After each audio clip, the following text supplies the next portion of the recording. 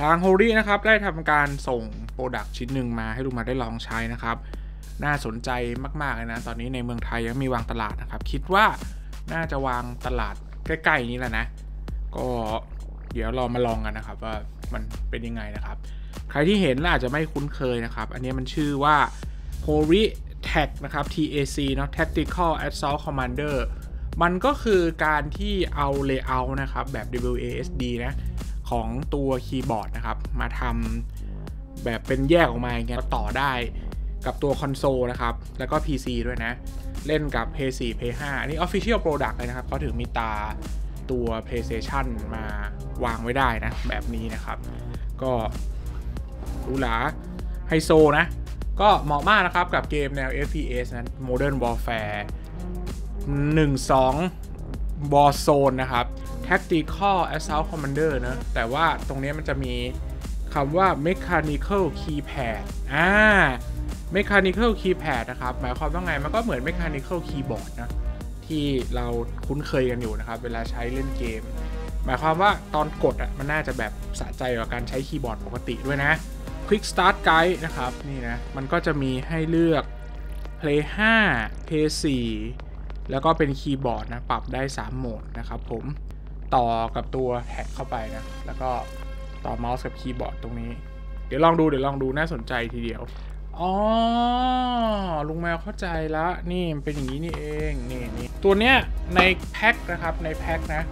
สวยเลยนะเนี่ย เท่เลยเหมือนอะไรเหมือนกรงเล็บ นี่นะ ก็วางงี้ WA โอ้โห แล้วมันแบบ นี่ คือตรงเนี้ยข้างล่างมันเป็นยางเนอะพอวางบนโต๊ะเนี่ยครับ ไม่ลื่นแน่นอน รับประกันไม่ลื่นแน่นอนนะ คุณกระชากยังไงเนี่ยกล้องเดี๋ยวเคลื่อนเล็กน้อยนะแต่นี่เห็นไหมไม่มีทางลื่นนะครับ ติดกระชับแน่นแน่นอนเนาะแล้วก็เน้นตัว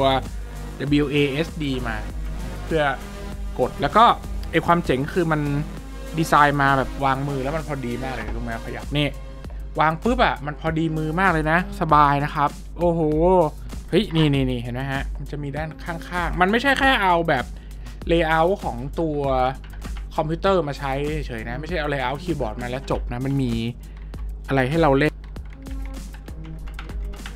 แบบนี้เนาะแล้วก็เขาให้ปรับโปรไฟล์ ตอนนี้ปรับเป็น p 5ไว้แล้วนะครับนี่ปรับเป็น p 5ไว้แล้วนะตัวนี้นะครับเป็น USB A นะนี่นะ ก็เอาเสียบกับ PlayStation 5 ได้เลยนะครับนี่ ก็เสียบข้างหน้าก็ได้นะ หรือเสียบข้างหลังก็ได้นี่ก็แล้วแต่นะครับ แล้วก็สายก็ยาวพอสมควรนะ ประมาณเกือบเกือบสองสุดแขนนะครับเขาเรียก 2 วาใช่ไหมเกือบเกือบสองวานะวากว่ากว่าเกือบ 2 วาก็ก็ก็ยาวอยู่นะ แต่ว่าแน่นอนว่าถ้าคุณเล่นกับตัวเนี้ยนะ สิ่งที่คุณจะเอาไปใช้อะมันก็ต้องเป็นสายนั่งบนโต๊ะอยู่แล้วนะ คงไม่เอาไปใครไปเล่นบนที่นอนคงไม่ถนัด เพราะว่า ไม่ว่ายังไงมันต้องมีเมาส์อีกตัวหนึ่งนะครับ มันคล้ายๆกับการจำลอง PC มาเนอะนี่นะครับ นี่ก็จะมีชุดแบบนี้ละก็มีสายนี่ออกมา อย่างนี้เนาะแล้วก็มีแบบนี้ ซึ่งนี่ความเจ๋งของมันคือ เอาเล่าสัมผัสก่อนเนาะคือมันเป็นพลาสติกแหละ ดูก็คงเห็นนะครับว่าตัวเนี้ยเนื้อมันเป็นพลาสติกนะ มันไม่ได้แบบพรีเมียมมากนะครับ แต่ว่าความเนียบนี่ก็ต้องให้เขาอยู่แล้วนะ ตัวคีย์หืมแต่ตัวนี้รู้สึกดีนะมันเป็นแมชชีนิคอลจริงๆ มันจะมีความนูนๆมากกว่าคีย์บอร์ดปกตินะ ถ้า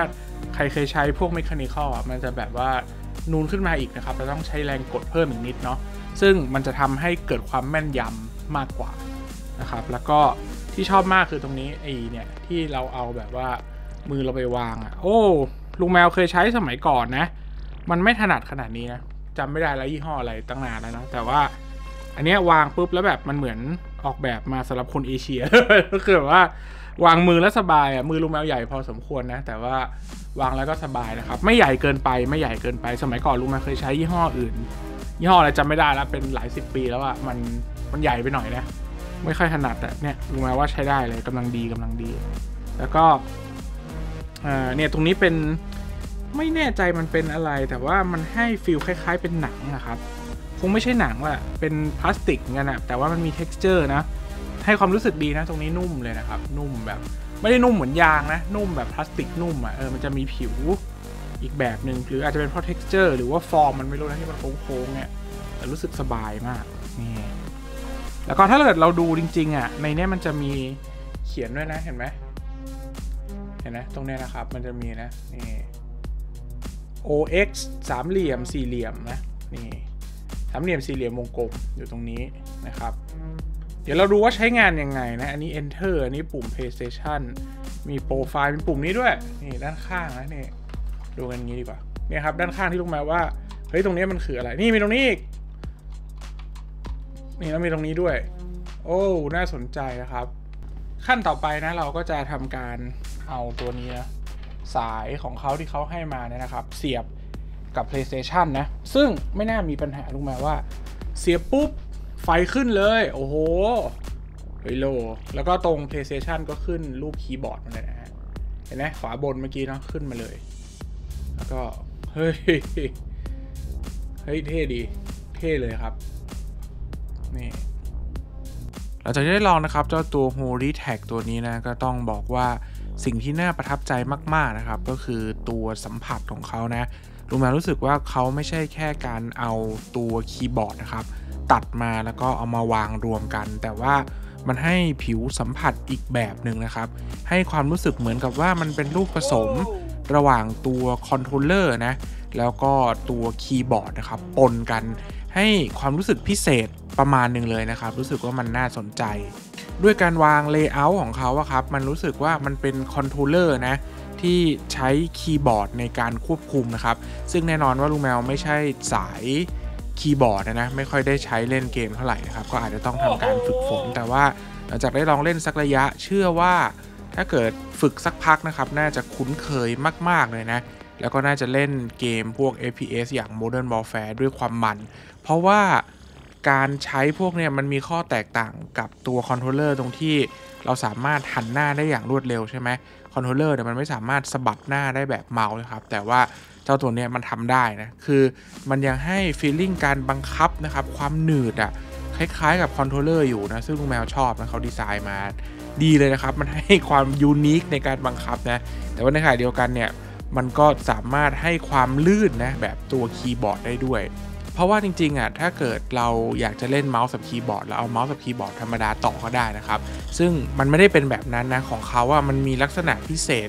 บางอย่างนะ ผิวสัมผัสการบังคับบางอย่างนะครับ ที่เป็นลูกผสมระหว่าง controller กับตัวคีย์บอร์ดซึ่งแมวชอบเลยนะ แล้วก็อย่างที่บอกไปแล้วนะครับว่าเจ้าตัวนี้มันสามารถต่อกับ PC ได้ด้วยนะครับผมถ้าใครซื้อไปเล่นกับ PlayStation 5 ใช่ไหมก็สามารถที่จะเอาตัวนี้มาเสียบกับ PC ได้ด้วยนะครับเผื่อคุณใช้ตัว PC อะแล้วก็ไม่ได้มีตัวคีย์บอร์ดที่เป็น Mechanical ไว้เล่นเกมนะ คนที่น่าจะสนใจเจ้าตัวนี้กลุ่มที่เพิ่งซื้อเครื่องคอนโซลมาใหม่ ๆ นะครับ แล้วก็มาเล่น FPS แล้วก็รู้สึกว่ามันไม่ถนัดอยากจะได้ feeling คล้ายๆ กับการต่อเมาส์กับคีย์บอร์ดนะครับ ก็อันเนี้ยก็ช่วยได้นะครับ ถ้าคุณเล่นเกม Modern Warfare Warzone เป็นประจำนะ ตัวนี้ใช้ได้เลยนะครับผม แล้วก็มันให้ความรู้สึกแตกต่างจากตัว Mechanical Keyboard ปกติพอสมควรนะ อย่างที่บอกเขามีเอกลักษณ์ของเขานะครับ ให้ความยูนิคอะมันไม่ได้เป็นเมาส์กับคีย์บอร์ดธรรมดานะครับ มันให้ฟีลอีกแบบหนึ่งนะ แล้วก็คุณไม่ต้องห่วงเรื่องความผิดนะ ความโกงนะครับ เพราะว่าณปัจจุบันเนี่ย Modern Warfare มันเป็น cross-play ถูกปะมันสามารถใช้เมาส์กับคีย์บอร์ดได้อยู่แล้วนะครับ เราเจอกันอยู่แล้ว เพราะฉะนั้นคุณเสียบได้เลยนะครับ เช่นเดียวกับ Fortnite นะก็อนุญาตให้เสียบเมาส์กับคีย์บอร์ดได้อยู่แล้ว ถ้าคุณเล่น 2 เกมนี้เป็นประจำนะครับ รวมไปถึงสายออนไลน์นะ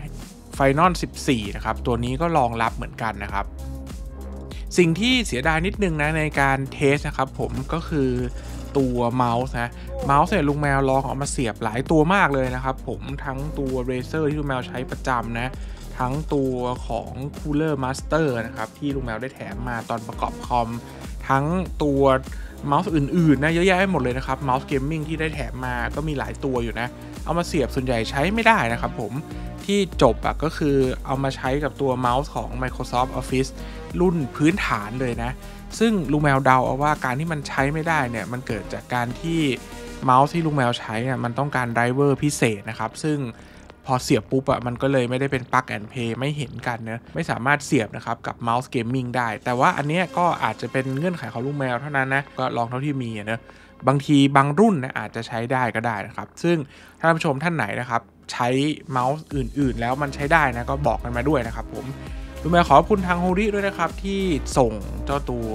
แท็กตัวนี้ไม่ให้ลุงแมวได้ลองนะครับ ผมส่งมาก่อนจะวางตลาดด้วยซ้ำนะโอ้โหน่า